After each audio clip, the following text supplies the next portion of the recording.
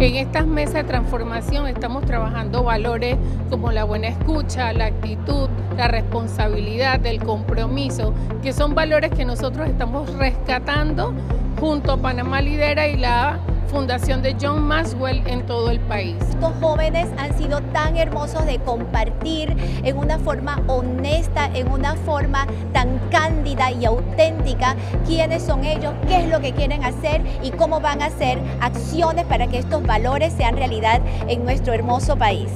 Ha sido maravilloso porque hemos podido hablar sobre la actitud y hemos podido pensar sobre nuestras actitudes en la vida. El seminario fue súper interesante, no solo me motivó a mí para ser aún más líder, sino a mis compañeros, que hayan más líderes en la República de Panamá y tanto en el Instituto Nacional, que eso es lo que caracteriza a un institutor, ser líder y esta capacitación ha sido uno de los mejores